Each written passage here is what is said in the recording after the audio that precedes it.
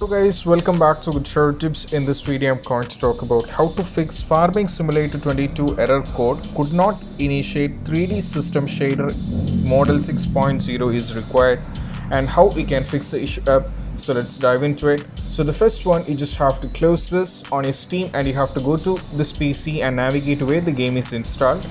So if it is, uh, in my case, it is on new volume D, I mean local disk C. So I just have to click on this one and go to program files from here I have to click on Steam.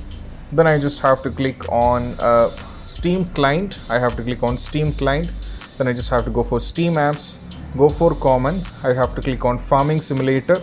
And now you'll be getting uh, a XML document uh, like a file on your uh, where the game is installed when you're trying to down when it's downloaded. So you just have to right click and you just have to select this one and right click.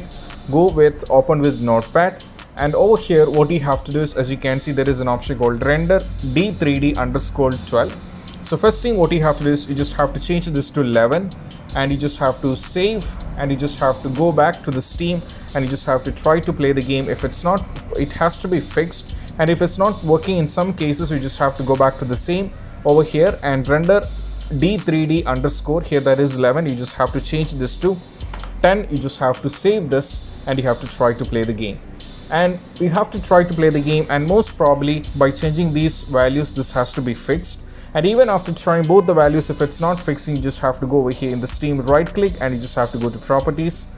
Now from here as you can see you just have to click over here at the general. And there is an option called launch options right? So you just have to give the value i'll be giving the description. You just have to copy paste that and you have to paste the value over here.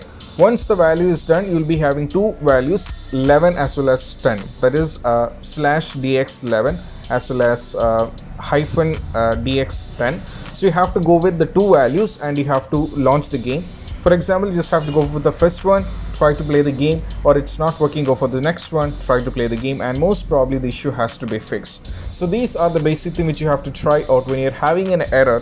With this one uh, 22 i mean farming simulator 22 error could not initiate 3d system shader model 6.0 is required error and how we can fix the issue up. And i hope this video is helpful. And if you find this video helpful don't forget to subscribe and click on the bell icon for more notifications. See you soon in the next video. Peace out